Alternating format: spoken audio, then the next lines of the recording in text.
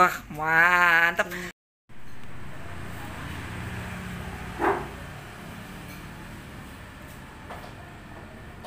Udah buka berapa bulan, Mas? Oke, eh, kurang lebihnya dua bulan mas dari bulan November sih. Itu omset tembus berapa, Mas, kurang Eh, lebih? Kurang lebih sih hampir bisa sampai 2 juta rupiah. 2 juta ya, Iya, teman-teman ya? Iya. Mantep ya, Mas Jon ya.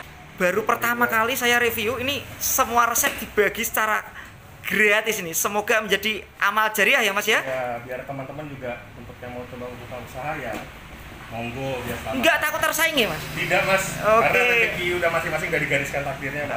Oke. Ya kita berusahanya aja. Nggih, Mas.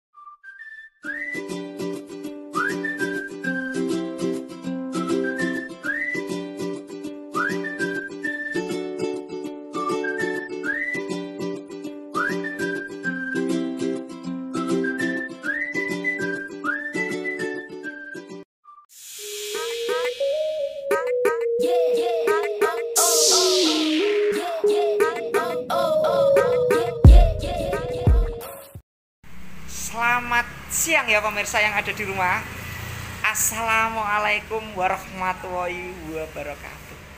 Ketemu lagi ya dengan saya Tarjo Kucingan, pemburu kuliner dan sang inspirasi bisnis. Di belakang saya ini ada warung makan kekinian ya. Namanya Kanena Kam. Kalau dibalik tulisannya makan enak. Nih harga murah teman-teman, mulai 5.000 sampai 30.000. Dan ini menunya macam-macam, mulai dari soto, iga, minuman kekinian. Yang paling spesial di sini salad. Seenak apakah makanan viral ini saladnya? Habis ini akan kita pesen ya semua menu bestseller yang ada di sini. Intip cara pembuatannya. Biar teman-teman setelah nonton video ini Mas Tarjo semakin terinspirasi untuk berwirausaha.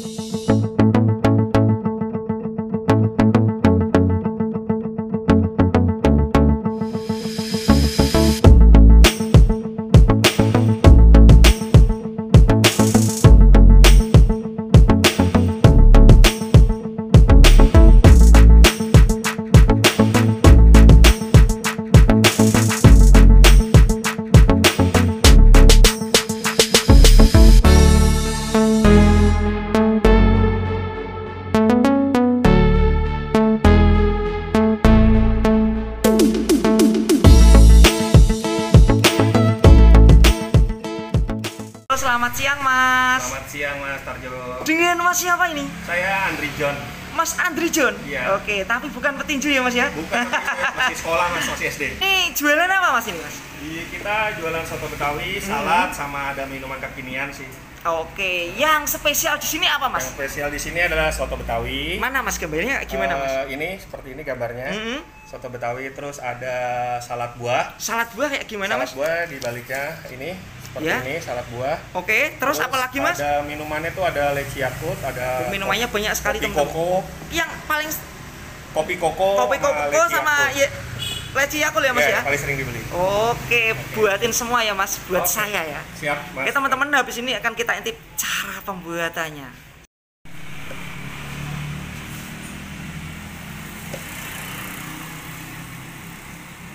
Langsung aja kita dikasih caranya ya pembuatan salad buah langsung dari penjualnya dengan Ibu Sinten gini ki Asmani Berarti Ibu Ati nggih.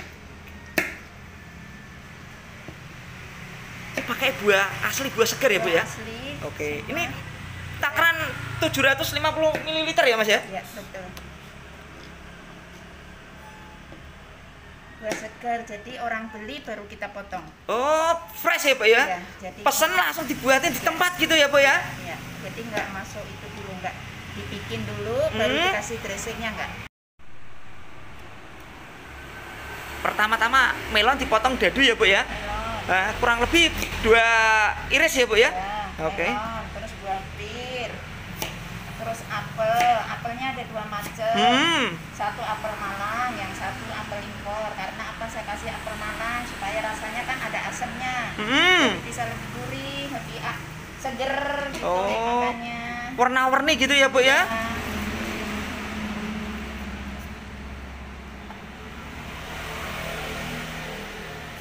terakhir nanti buah naga. Wah, mantap ya, Bu ya. Karena biar warnanya kan kalau dia taruh atas, Hmm. nanti langsung turun ke bawah, jadi warnanya bisa merah nggak pucat, Oh, gitu ya, Bu ya. bisa menarik. Ini teman-teman, selama aku bikin video teman-teman, ini baru pertama kali aku nemu video salad ini. Rata-rata itu resep itu nggak dibagikan alias rahasia. Nah cuma di channel ini loh, teman-teman bisa melihat langsung tutorialnya. Jadi nanti kalau teman-teman merasa tertarik, posisi berada di Semarang, silahkan ya langsung dikunjungi outlet Kene Makan teman-teman. Ya nanti alamatnya saya cantumin di kolom deskripsi ya teman-teman. Ini pesan untuk Grab, Gojek bisa bu ya? Ya, Oke. Grab, Menerima acara arisan bu atau pesta pernikahan? Semua terima. Hmm, Insya Allah. insya Allah bisa ya bu ya? Insya Allah.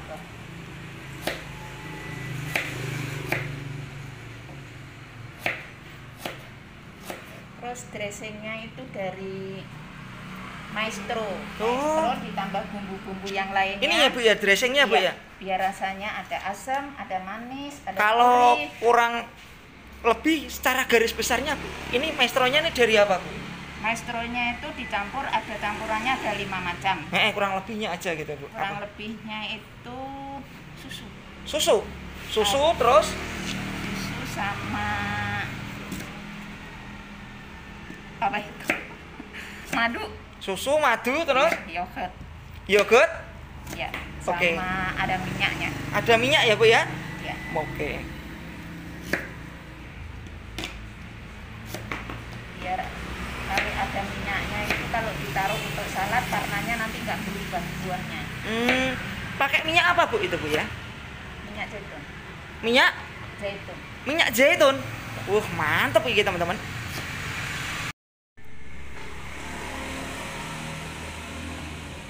Udah nenek-nenek mas malu. Oh nggak apa-apa. Tapi ini semangatnya luar biasa teman-teman ya. Ya, tapi Umurnya berapa ini bu Ati nggih nggih? baru nampak. Baru nampak ya bu ya? Oke berarti saya baru lahir ini teman-teman kalau seneng saya ini Bu Atinya suka bercanda nih Bu. Tampilannya teman-teman Wah mantep ini teman-teman Nanti di atas. Kasih dressing.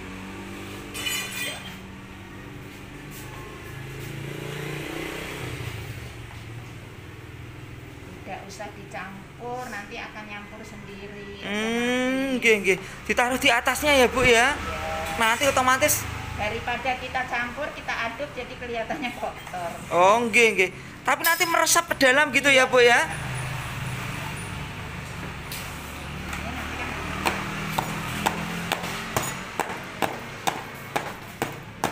Dikasih parutan keju ya bu ya. Pakai keju apa itu bu Ya, ya kejunya keju Mac. Mac ya bu ya mereknya ya Biar tambah enak gitu ya bu ya? Enak, Tambah gurih. Oh gitu. Kan ada asam, ada manis, ada gurihnya.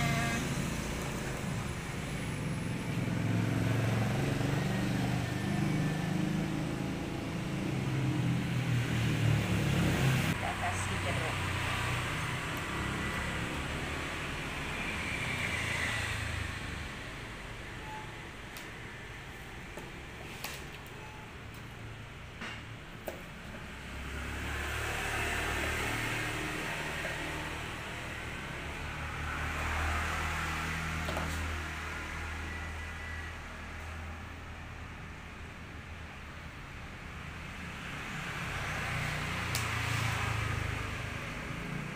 Semua buah masuk ya bu ya? Ya, semua buah segar. Oke teman-teman. Lah ini teman-teman bisa lihat sendiri ya cara pembuatannya ya. Toppingnya ini buah-buahnya melimpah seger-seger ya ini. Ini satu kotak ukuran besar kayak gini dijual berapa bu? 40 murah teman-teman. Nah ini murah ini. Tadi kita bisa amati teman- teman-teman. Buahnya benar-benar melimpah ini ya. Benar-benar seger ini. Dikasih apa itu bu ya biar kelihatan manis. oh Jadi ada rainbow selera- jelly gitu ya bu ya Ada selera untuk makan kalau kelihatan menarik. kan? Iya betul itu bu, setuju gue. Nah ini teman-teman. Kalau kita Cantik, teman-teman. amburadul kan kayaknya udah udah enak dulu. ya. Iya iya bu, iya benar bu, Jadi benar ya. kurang. Udah? Tutupnya? selesai. Oke.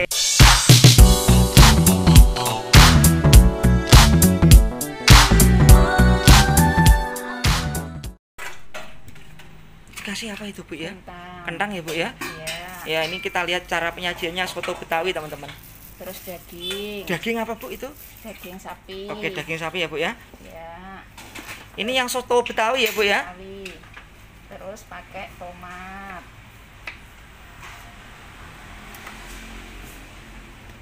Daun bawang seledri.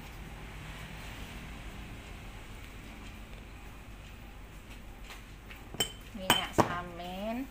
Minyak samin. Ya. Oke. Minyak samin bentuknya kayak gitu ya bu ya? Iya. Belinya di Eh, mana itu bu? di supermarket. Oke. Kalau nggak ada minyak samin, bisa pakai unsalted butter. Oke. Nah ini teman-teman ya, Tapi- kita langsung dikasih tahu resep rahasianya ini teman-teman. Oke. Yang paling enak karena ada ininya Hmm. dan susu asli bener. Hmm, gih, gih, gih, gih, bu.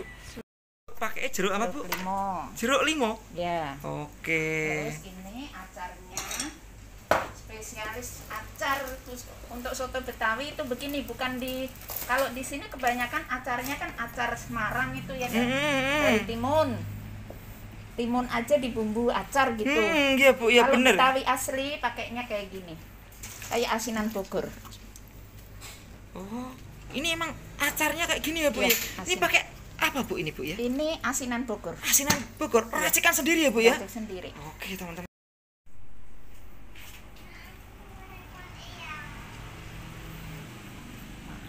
Wah mantap. Satu porsi kayak gini bu, lengkap berapa bu ini? dua puluh lima ribu Murah ya bu ya? Nah ini teman-teman bisa kita lihat sendiri ya. Habis ini kita intip cara buat minumannya teman-teman. Strawberry Yakult. Strawberry Yakult ya mas ya? Iya. Oke. Kalau sini kita stroberinya pakai Nutrisari. Hmm, gih, gih, mas. Jadi biar teman-teman kalau misalnya mau Buat di rumah gitu ya, Mas, ya? Buat di rumah kita tidak ya membagikan ilmunya Secara gratis ya mas ya? secara gratis. Semoga ini habis Tapi kita di sini tidak pakai air mineral, Mhm. langsung susu. Biar tanpa air ya mas ya? apa tanpa air mineral? Hmm, ini ya berarti ya. Ya. Terus Yakult Dikasih susu full cream berapa mili mas kurang lebih? kurang lebih kalau full segini 100 ml kalau strawberry Yakult. Oke. kita ini Untuk strawberry yakult terus selanjutnya kopi koko kopi koko kita pakai Nescafe Nescafe ya mas ya? Nescafe yang ini ya Klasik ya, Mas, ya? Eh, tanpa ampas tapi karena Nescafe itu bubuknya kalau pakai susu agak sulit jadi kita Mhm. pakai air panas sedikit Hmm, aja hmm, hmm, hmm. Untuk melarutkan gitu ya mas ya? fungsinya untuk melarutkan Oke sekitar 10 mili ya mas mungkin ya mas 10 ya? mili lah kurang lebih karena kalau misalnya pakai air dia langsung dingin sulit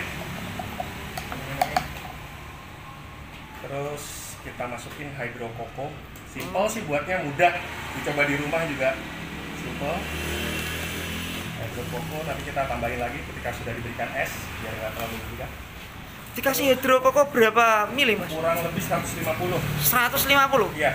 Ini baru pertama kali saya review teman-teman. Ini penjual Gula aren. ngasih ya gula aren berapa? kemarin kurang lebih berarti 30 mili. 30 mili. Nah, 15 kali dua kan? Ini Oke. sendoknya 15 baru pertama kali saya review ini semua resep dibagi secara gratis ini. Semoga menjadi amal jariah ya mas ya. Ya biar teman-teman juga untuk yang mau coba buka usaha ya monggo biar selamat. Nggak takut tersaing ya mas? Tidak mas. Oke. karena rezeki udah masing-masing gak digariskan takdirnya mas. Oke. ya kita berusahanya aja. Nggih mas ya. Karena dengan kita berbagi insya Allah Insya Allah tambah berkah. kita akan bertambah gitu ya mas ya. Yang kedua kita coba buat ini ya.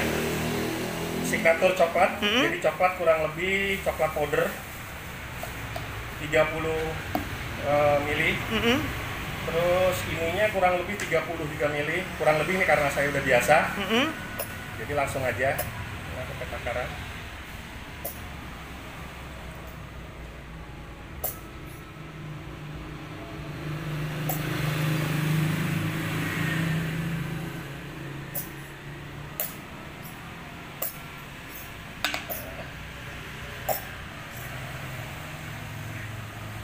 susu kental manis ml gitu ya mas ya? ya susu full cream terus kita aduk Susu full creamnya berapa mili mas? kurang lebih 120 Oke. terus kita mixer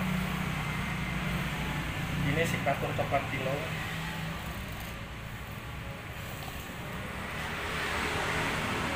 Beli bubuknya di mana mas ini mas?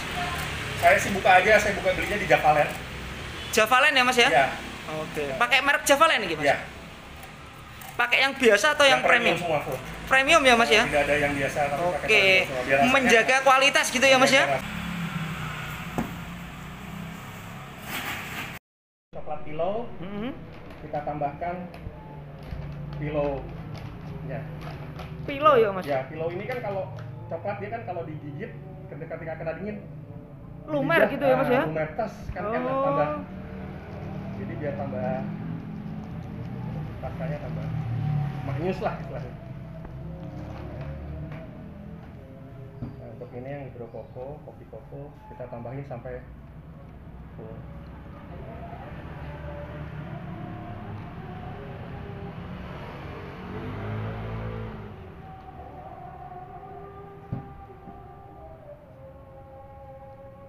Kira-kira ya mas ya? Secukupnya ya, dikira mas ya? secukupnya lah untuk ukuran gelas 16 oz ini ya Oval gitu ya mas ya ya? oval 16 Ini oz. 16 oz oval ini kalau lonjong sama dengan 18 oz ya mas ya? kurang lebihnya Hampir sama teman-teman. ya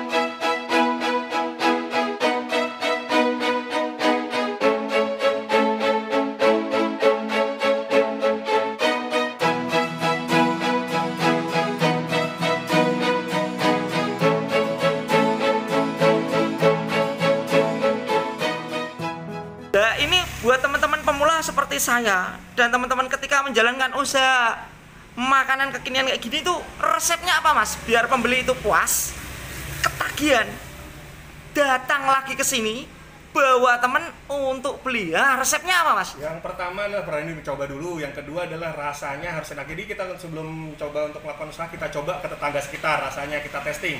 Rasanya enak apa enggak? Di situ kita belajar. Dan ketika rasanya enak itu kita coba jualan. Terus harganya juga jangan terlalu mahal.